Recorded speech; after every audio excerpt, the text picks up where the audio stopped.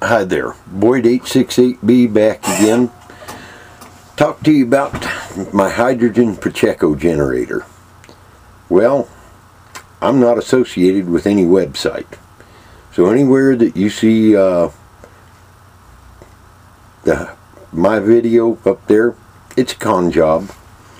I never got it far enough to see if it would run a car. Got close, but uh, to tell you a little bit about it, some of the guys about three, four years ago were bugging me about, is there a cheaper way, something we can run a car on?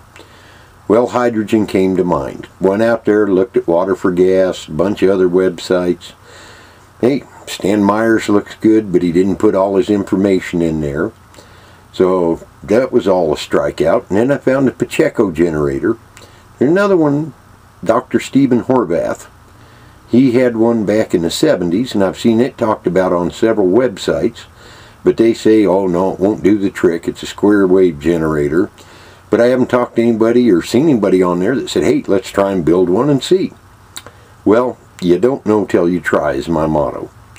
And I just took it on the shorts on a Haddam magnetic clogging one that I haven't been able to get to work. And that bites. But back to the Pacheco generator. Something I knew from uh, TV back in about 59 or 60 was uh, the Union Balloon Corps. It used uh, hydrogen to fill observation balloons in 1861. Now somehow I can't see, back then they had giant electrical generators to drag around. Mm-hmm. No, what they did was they used iron filings, sulfuric acid, ran it over a drying bed, I not sure if it was bentonite clay or what it was, but I imagine you could find out. And they had the inside the balloons covered with gold beater skin because that's the only thing that would keep hydrogen in back then.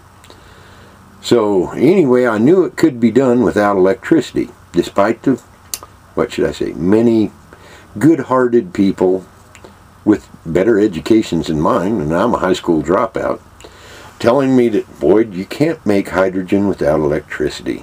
No, just can't be done. And it takes way more electricity than what you get hydrogen out.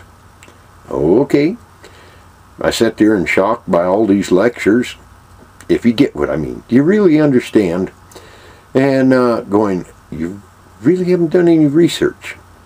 Well, in middle of December, I started researching. I got done the end of March, and in that time, coming home after work every night, getting on the computer, I'd spent one month. 724. I kept track of my hours for once. and found these guys, Knowledge Publications. They run cars off of uh, tanked hydrogen. They make their own, make their own fuel. Uh, pretty good stuff. But they got a book from 1919 that uh, shows you how to make commercial amounts of hydrogen without using electricity. Imagine that. but anyway, why, you could use them on a hydrogen fueling station. You know, work it to scale. Hey, okay, but that's neither here nor there. The Pacheco generator works.